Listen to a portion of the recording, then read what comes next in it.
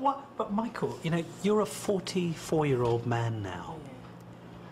What, what do you get out of this? Witamy w Watch Mojo Polska. Dziś powiemy o wywiadach, które zrujnowały ludzkie życie. What did your wife say to you? She knows very well the man she married and who I am. Przyjrzymy się wywiadom i rozmowom, które miały szkodliwy wpływ na życie, reputację i wiarygodność zaangażowanych w nie osób. Kojarzycie któryś z tych wywiadów? Dajcie znać w komentarzach. Lance Armstrong z Oprah. In October 2012, the United States anti doping agency known as USADA stripped Lance Armstrong of his seven Tour de France wins. Kiedy w 2012 roku Lance Armstrong stracił tytuły Tour de France przez zarzuty o doping, wiedział, że czekają go kontrowersje i procesy. Musiał wyprzedzić historię, a to oznaczało przyznanie się do winy, mimo wcześniejszych zaprzeczeń. Zrobił to w 2013 roku w rozmowie z Oprah Winfrey i był zbyt szczery na temat tego, jak to się potoczyło. Yes. Armstrong twierdził później, że myślał, że wywiad poszedł dobrze, póki reakcje ludzi nie zasugerowały inaczej. Wywiad nie spodobał się ani opinii publicznej, ani społeczności kolarskiej. Glorię Armstronga na zawsze przyćmił skandal dopingowy. And you know what's scary is I actually thought it was a good idea. Chłopiec z balonu w CNN. Naród USA był przerażony, a potem odetchnął z ulgą po historii sześcioletniego Falcona Chin. O jego rodzinie zrobiło się głośno w 2009 roku. Rodzice twierdzili, że ich syn utknął w balonie gazowym, który wypuścili w niebo. What you all see right there is an experimental aircraft that inside of which is a six-year-old boy. Ale później Falcon Chin został znaleziony ukryty na strychu w ich garażu. Podczas wywiadu z całą rodziną w CNN nieumyślnie ujawnił, że według jego rodziców wszystko miało być na pokaz. We did this for the show. Yeah.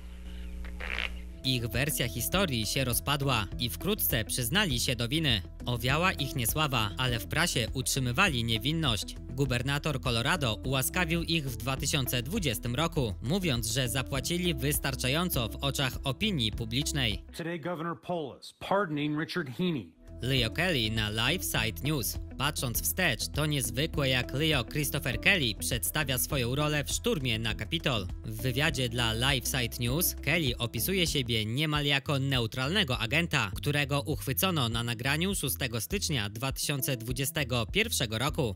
I wanted to see what was going on, so I just kept climbing as far as I could. Bardziej wyglądał jak ktoś, kto grasuje po Kapitolu razem z setkami innych, którzy się tam włamali. Like it was just absolute chaos, and like this is a the Capitol building is huge. To wystarczyło, by zajęło się nim FBI. Aresztowano go kilka tygodni później. Od 2023 ciąży na nim 7 zarzutów federalnych. 35-year-old Leo Kelly of Cedar Rapids was one of the Iowans who stormed the Capitol January 6th. Paula Abdul, Fox. Dni prasowe bywają ciężkie. Godzinami siedzimy i rozmawiamy z ludźmi z różnych miast lub państw. Przynajmniej takie było wyjaśnienie Poli Abdul dla tego wywiadu z lat zerowych, który szybko stał się viralem.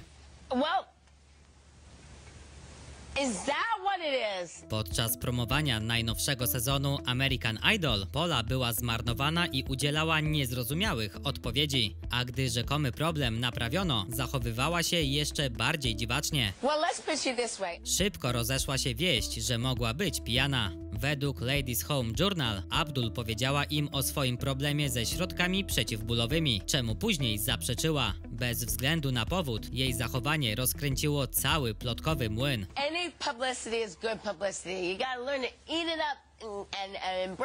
Billy Bush i Donald Trump. W 2005 roku Donald Trump był ponad dekadę przed prezydenturą. Gospodarz telewizyjny Billy Bush relacjonował dla Access Hollywood, kiedy Trump wygłosił komentarze na temat obmacywania kobiet. And when you're a star, they let you do it. Wypowiedzi nie były częścią faktycznego wywiadu, który miał zostać wyemitowany, ale raczej fragmentem swobodnej rozmowy przed wywiadem. Jednak Trump był najwyraźniej świadomy, że jest nagrywany. Ujawnienie tych komentarzy miało być ciosem przed wyborami w 2016 roku. They said, Will you take that back? I said, Look, Jak na ironię, Bush poniósł najsurowsze konsekwencje. Zaproponował swój niestosowny komentarz w klipie i nie zareagował, gdy Trump mówił o współprowadzącej dziennikarza. Mimo, że było to 10 lat wcześniej, Busha zawieszono na nowym stanowisku w Today z powodu wycieku rozmowy. Został zwolniony i potem przeprosił. It was 12 years ago, but it was a really bad moment, and I'm, I'm sorry. El Chapo z Seanem Pennem, jeden z najgłośniejszych narkobaronów, miał widocznie słabość do aktorek. Kiedy meksykańsko-amerykańska aktorka Kate Del Castillo pośredniczyła w spotkaniu Joaquina El Chapo Guzmana z aktorem Seanem Pennem, nie miała pojęcia, że Penn zamieni to w wywiad dla Rolling Stone. The actor Sean Penn found him first. Wywiad wyjaśnił to, co wszyscy już wiedzieli o zbrodniach El Chapo. Najwyraźniej pozwolił władzom znaleźć przestępcę i pozostać na jego tropie aż do aresztowania w 2016 roku. Penn i Del Castillo zaprzeczyli, że ich spotkanie miało wpływ na sprawę. Do you believe that the Mexican government released this in part because they wanted to see you blamed and to put you at risk? Yes. El Chapo został skazany za swoje zbrodnie na dożywocie. The verdict is guilty on all 10 counts. Księżna Diana z Martinem Bashirem. W 1995 roku dziennikarz Martin Bashir przeprowadził wywiad życia z księżną Bali Dianą dla programu BBC Panorama. Diana dobrze radziła sobie z inwazyjnymi pytaniami i dała opinii publicznej wgląd w korytarze brytyjskiej monarchii. Do you think Mrs. Parker Bowles was a factor in the breakdown of your marriage? Well, there were three of us in this marriage, so it was a bit crowded. Wywiad przyczynił się do rozpadu jej relacji z rodziną królewską i przyciągnął jeszcze więcej paparazzi, którzy śledzili ją aż do jej przedwczesnej śmierci. Because exactly two years later she died. And I do draw a line between the two events. Później pojawiły się zarzuty, że podejście Bashira było nieetyczne, a jego działania zatuszowało BBC. Niezależne dochodzenie wykazało, że sfałszował wyciągi bankowe, by przekonać Dianę, że jej bliskich opłacano, by ci ją szpiegowali. W 2021 roku Bashir przeszedł na emeryturę, powołując się na chorobę. And then there's the BBC. Tonight they've apologized and written to Princess Diana's family. Adding today's BBC has better processes. Michael Jackson z Martinem Bashirem. Kontrowersyjne metody Martina Bashira poddano dalszej analizie po jego wywiadach z 2003 roku z Michaelem Jacksonem. No, no.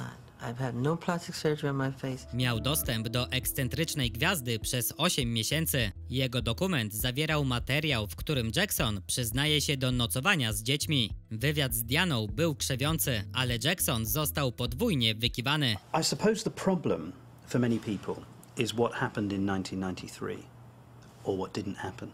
What didn't happen. Były menedżer Michaela Jacksona uważa, że pogorszyło to zaburzenia związane z jego nadużywaniem substancji, co przyspieszyło jego przedwczesną śmierć. Donoszono, że Bashir kolejny raz uzyskał wywiad podstępem. Miał wynegocjować podróż z sekretarzem generalnym ONZ, by towarzyszyć Jacksonowi w podróży do Afryki w zamian za wywiad. Sensacyjne podejście i nieetyczne zachowanie jeszcze bardziej zniszczyły wiarygodność Bashira. I'm done. I'm done. Scott Amedur w The Jenny Jones Show. W czasach świetności eksploatacyjnych talk show The Jenny Jones Show był tylko jednym z kilku programów, które szastały sensacyjnymi historiami ale najmocniejsze odcinki nigdy nie trafiły na antenę. W jednym odcinku gospodarz nakłoniła gości do ujawnienia ich zauroczenia tą samą płcią, a potem wprowadziła obiekt ich westchnień. Scott Amedur był jednym z rozmówców. Wyznał, że podkochuje się w swoim hetero przyjacielu, Jonathanie Schmitzu. Ten zdawał się przyjmować to z ulgą. Well, guess what? It's Scott that has the crush on you. You lied to me. Jednak trzy dni później upokorzony Schmidt zastrzelił Amedura. Dostał wyrok od 25 do 50 lat więzienia, a rodzina Amedura pozwała program. Bez skutku. Mimo skandalu The Jenny Jones Show kontynuowano jeszcze przez kilka sezonów. In my opinion, she wasn't doing it to be mean, she was doing it to make money. Lajkujcie i komentujcie nasze filmy. Dajcie suba i kliknijcie dzwonek, by być na bieżąco.